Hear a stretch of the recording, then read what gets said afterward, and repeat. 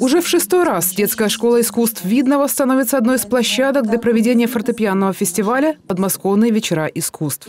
Все ее ученики, их родители и, конечно, просто неравнодушные классическим произведениям зрители смогли погрузиться в чарующий мир нот и услышать шедевры фортепианной музыки в исполнении болгарского пианиста и лауреата международных конкурсов Ивана Дончева.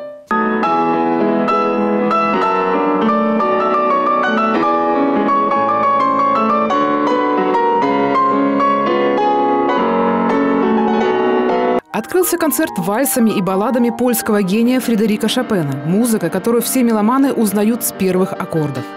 Виртуозное мастерство Ивана Дончева позволило передать все тончайшие оттенки чувств и настроений. А во второй части выступления прозвучали картинки с выставки Модеста Мусорского, которая является одной из визиток русской музыки. Выбраны они были не случайно. Болгарский пианист признался в любви к русской аудитории. К тому же среди зрителей много детей – Русская публика замечательная, очень компетентная, очень чувствительная. И это для исполнителя очень важно, что ты чувствовал, как публика отвечает. Огромное удовольствие, когда молодые люди есть в публике, потому что это будущее. А без будущего мы не можем, конечно. И действительно, такие выступления мастеров дают мощный творческий импульс всем юным музыкантам.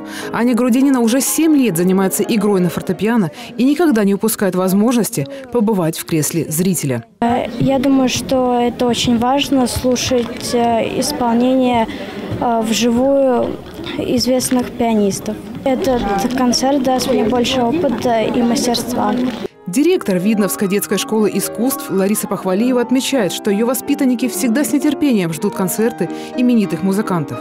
К тому же, как знать, может, это станет для кого-то из них и началом большого пути. Я считаю, что э, большой потенциал э, они дают нашим детям в плане освоения музыкального искусства. Может быть, кто-то из них даже пойдет, э, выберет свои профессии и